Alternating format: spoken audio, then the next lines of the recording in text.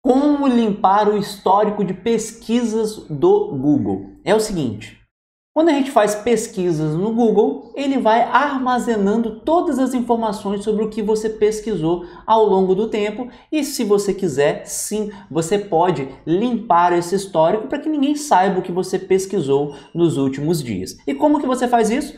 Você vai abrir a internet do seu celular, pode ser pelo Google Chrome ou por qualquer outro navegador de internet. Você vai abrir, chegando aqui ou no site que abrir, você não vai fazer nada aqui ainda. Você vai abrir o site www.google.com.br. Aqui é uma prévia do pesquisador, não é o site Google, beleza? Você toca aqui e digita www.google.com.br e coloca para avançar. Tá vendo que é diferente? Isso daqui é o site de pesquisas do Google.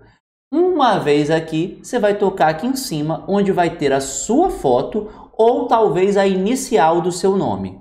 Você vai tocar ali, ele vai carregar. Chegando aqui, se você já quiser excluir o histórico dos últimos 15 minutos, é só você tocar aqui. Mas se você quiser excluir de um tempo maior, você vai tocar aqui, olha, histórico de pesquisa espera ele carregar. Chegando aqui, vai no botão excluir. E quando você toca no botão excluir, ele te traz algumas opções.